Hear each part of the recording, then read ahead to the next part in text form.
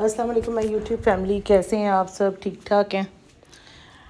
मैंने कहा, जी, आपको साथ साथ खबर देती रहूँ कि मैं किधर हूँ, कहाँ पे हूँ?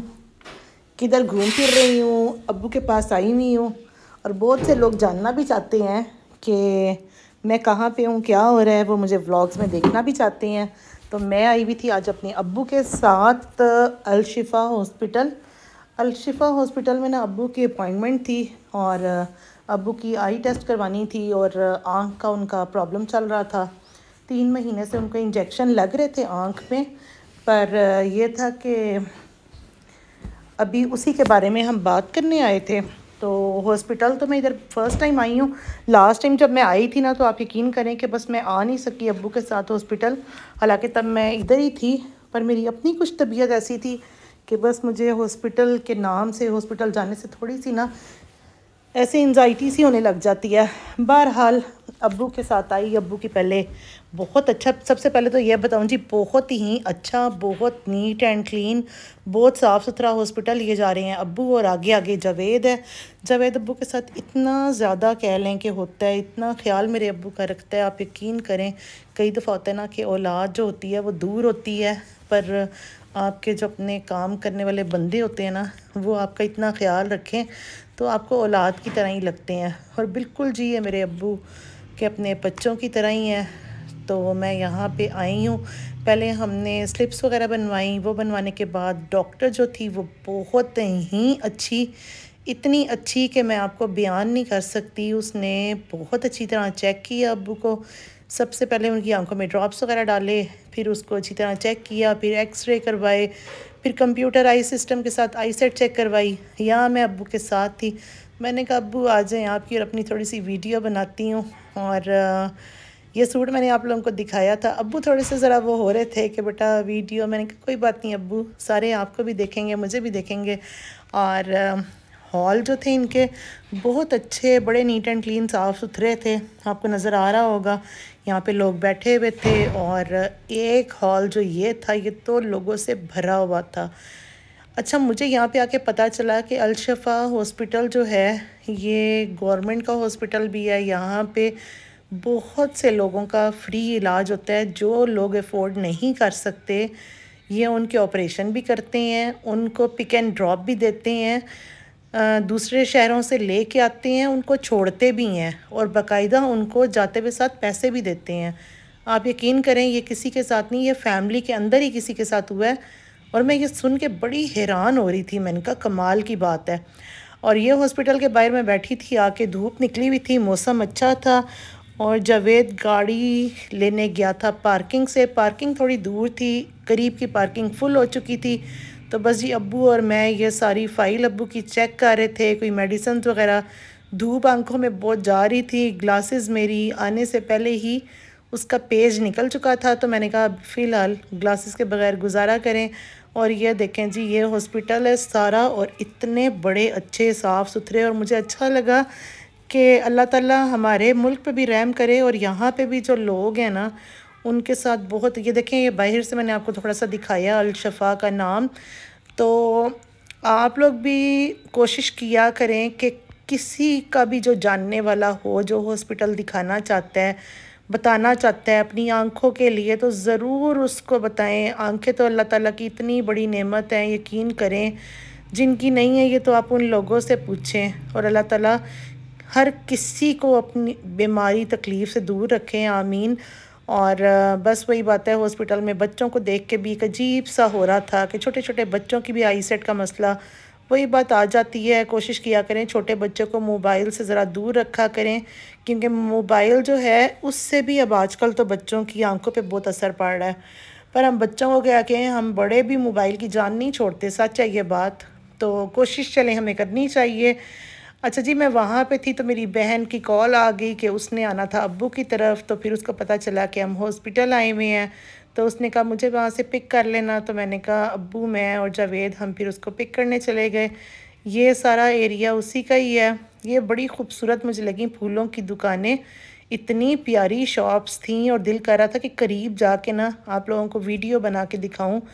फूल भी आप कह लें कि हमारी ज़िंदगी के लिए ना बड़े ज़रूरी हैं। और फूलों के साथ तो आपको पता है, वैसे ही लाहौर में तो फूलों का इतना ज़्यादा होता है ना, वहाँ पे फ्रेश फ्लावर्स बहुत ज़्यादा हैं। और वहाँ पे गजरे बहुत मिलते हैं। आप अक्सर देखा होगा, जो लाहौर के लोग हैं, जो लाहौर को जानते हैं, वहाँ पे तो जी, जैसे ही गाड़ी रुकती है ना तो हमारी गाड़ी के पास गजरे वाले आ जाते हैं। और आप यकीन करें, मैं यही सोचती रहती हूँ, अभी लेती हूँ और साथ ही इशारा खुल जाता है और गजरे वाले चले जाते हैं। बहरहाल कई दफ़ा लिए भी हैं, खैर, मुझे बहुत पसंद है गजरे। और गजरे बल्कि हाथों में पहन के इतनी प्यारी आपको खुशबू भी और इतनी प्यारी लुक आती है ना। आप बीमार हैं, कुछ हैं तो फूलों को देख के आपका वैसे ही दिल अच्छा हो जाता है। और ये देखें जी, दिल किया सारा शीशा नीचे करके ना हवा ठंडी ठंडी हवा लूँ। और यहाँ पे, बल्कि मैं अपने हस्बैंड से फ़ोन पे बात भी कर रही थी और मैं उन्हें बता रही थी कि मौसम बहुत अच्छा है। और आप यकीन करें, वाकई इतना प्यारा मौसम होया हुआ था उस टाइम धूप इतनी प्यारी निकली हुई थी, इतनी अच्छी लग रही थी। और बस जी, फिर हमने अपनी बहन को पिक किया और मैं आपको बताऊँ उसको ले के तो फिर हम घर की तरफ़ चल पड़े। मेन बताने का मकसद ये था कि अब्बू के साथ जब हॉस्पिटल आई ना, आप यकीन करें, आके ना मुझे वहाँ पे इतना ज़्यादा हो रहा था कि अल्लाह ताला इतना बड़ा हॉस्पिटल बनाया है, इतने लोगों को तकलीफ़ है, इतने लोगों को दर्द है और जहाँ जहाँ पे भी हम जाते हैं ना, आपको मैं बताऊँ, वही जगह हॉस्पिटल्स क्या हर जगह भरी होती है लोगों से। और बस आप लोग भी जब ऐसी जगह पे जाएँ तो इतना शुक्र अल्लाह ताला का अदा किया करें कि अल्लाह ताला ने आपको बिल्कुल ठीक ठाक रखा हुआ है। जिनको तकलीफ़ होती है ना, आप उनसे पूछें कि तकलीफ़ में इंसान क्या से क्या हो जाता है। तो बस अल्लाह ताला सबको शिफाए कामला ता फ़रमाए। और मेरी जो फ्रेंड है, उसकी भी बेटी बीमार है, मुझे उसकी भी बहुत टेंशन लगी हुई है। अल्लाह ताला उसको भी ज़िंदगी और सेहत दे और वही बात आ जाती है। बच्चों को अपने सामने बड़ा करके, जवान करके जब हम तकलीफ़ में देखते हैं ना तो माँ बाप जो है ना, वो इतने ज़्यादा, वो समझ लें कि वो तो उनकी ज़िंदगी और मौत का सवाल होता है ना, कि अपने बच्चों को तकलीफ़ में देखा ही नहीं जाता। अच्छा जी, बस बहन को लिया तो फिर मैंने अबू को कहा, जी, हम चलते हैं। यहाँ पे आपने शायद देखा होगा ढेरी की साइड पे ना बड़े मज़े के वहाँ मिलते हैं समोसे। मुझे नाम शॉप का नहीं पता, पर वो इतनी वायरल हो चुकी है, टिकटॉक पे, इंस्टा पे, यूट्यूब पे वो शॉप, मुझे नाम उसका नहीं अभी याद आ रहा। और वहाँ पे हम जा रहे थे और ये जो सारा एरिया है ना, ये सारा एरिया ढेरी का है। जो लोग ढेरी को जानते हैं और ढेरी के बारे में जिनको पता है तो उनको मैं बताऊँ, ये सारा एरिया जो है, ये ढेरी हसनाबाद का है और इससे थोड़ा सा आगे यहाँ पे ना स्कूल था हमारा। तो जेन में ना वो सारा बचपन और सब याद आ रहा था, पर ये एरिया अब इतना बिज़ी हो चुका है, इतना बिज़ी है कि समझ से बाहर था, इतनी ट्रैफ़िक, इतना रश और वही मैं देख रही थी और मैं कह रही थी, मैंने कहा, देखो, कैसे कैसे टाइम गुज़र जाता है? और बस वही बात आ जाती है। ज़िंदगी इसी तरह चलती रहती है।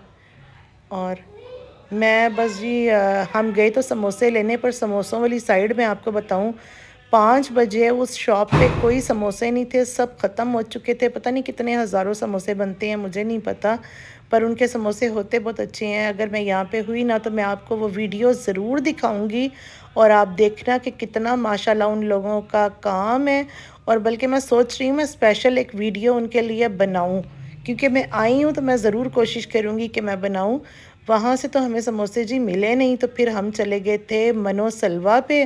वो लालाजार में शॉप है। वहाँ पे भी हम बहुत ज़्यादा लेते थे। उनकी भी समोसे, कचौरियाँ, चीज़ें बहुत मज़े की, बहुत अच्छी हैं। और जो लोग तो रावलपिंडी को जानते हैं, दूर बैठे हुए हैं तो उनके लिए मैंने ये स्पेशली वीडियो बनाई है। और जो दूर लोग रहते हैं, इंडिया में रहते हैं, उनके लिए भी ये स्पेशल वीडियो है जी, ताकि सारे लोग देखें। और ये जो एरिया मैं आपको दिखा रही हूँ, ये सारी मार्केट्स वगैरह, जगह जो हैं, ये मेरे अब्बू ने ही सेल की हुई हैं। और ये देखें जी, यहाँ पे आपको नज़र आ रहा होगा, और ये मेरे चचा की थी, अब्बू की थी, ये जो आपको सारी साइड्स पे नज़र आ रही हैं। तो बहरहाल ज़िंदगी इसी का नाम है जी। ऐसे कह लें साथ साथ इंसान चलता रहता है, चलता रहता है, मेहनत करता है और बहुत आगे निकल जाता है। मेहनत के बगैर आपको मैं बताऊँ, कुछ नहीं होता। अगर आप कहें ना कि घर बैठे हमें सब कुछ मिल जाए तो घर बैठे हुए तो किसी को भी कुछ नहीं मिलता। जब तक आप मेहनत नहीं करते, आप देखेंगे छोटी छोटी तंग तंग सी इतनी अच्छी गलियाँ और मैं देख रही थी, लोग इन एरियो में भी कितने खुश हैं। यकीन करें यहाँ की रौनक देख के, यहाँ के फल फ्रूट सब्ज़ी देख के मेरा दिल करे, मैं आप लोगों को सारा दिखाऊँ। और जिस तरह लोग आ रहे हैं, जिस तरह लोग शॉपिंग कर रहे हैं, जिस तरह लोग चीज़ें ख़रीद रहे हैं, इतना मुझे अच्छा लग रहा था ना। तो आप यकीन करें कि लाहौर में मैं बेशक रहती हूँ डिफेंस में, वहाँ पे तो ये इस तरह से नहीं है। पर कहते हैं ना कि आपको ये एरिया भी बड़े ज़्यादा अच्छे लगते हैं अट्रैक्टिव लगते हैं, क्योंकि दुनिया में आप देखें किधर किधर लोग आबाद हैं, आपको नहीं पता, पर जो ये ज़िंदगी है ना, ये आर्जी है, फिर मैं आपको एक बात जाते जाते कहूँगी, इन चीज़ों में कभी दिल ना आप लोग लगाना। आप कोशिश करना अपनी आखरत की ज़िंदगी पे ज़्यादा तवज्जो दें, दिल लगाएँ, आज जुम्मे का दिन है, अपना नमाज़ पढ़ें सुर काफ पढ़ें और डेली डेली अपनी ज़िंदगी का एक मकसद बना लें कि मैंने सदका देना है तो ज़रूर छोटी से छोटी चीज़, अपनी प्यारी चीज़ को सदका भी ज़रूर किया करें। हमारी सो बलाएँ जो होती हैं ना, उनको टालता है। तो बहरहाल उम्मीद है कि ये एक छोटा सा व्लॉग बनाया है, थोड़ा लंबा हो गया, ज़रूर आपने देखना है। मेरे चैनल को लाइक भी करना है, सब्सक्राइब भी करना है, कमेंट्स भी करने हैं, और जो जो देखेगा मुझे वो ज़रूर बताए कि उसको कैसा लगा। यहाँ पे सारा घूम फिर के और मुझे इजाज़त देना। इन ताला, अब कल आऊँगी नए व्लॉग के साथ। ओके जी